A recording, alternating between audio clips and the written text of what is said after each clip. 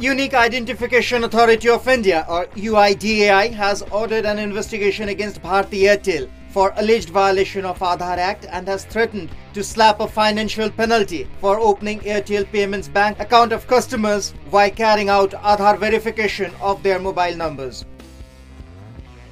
The matter came to light when payments related to cooking gas subsidy landed into the Airtel Payment Bank account for some customers and not in their pre-designated saving bank account with other banks.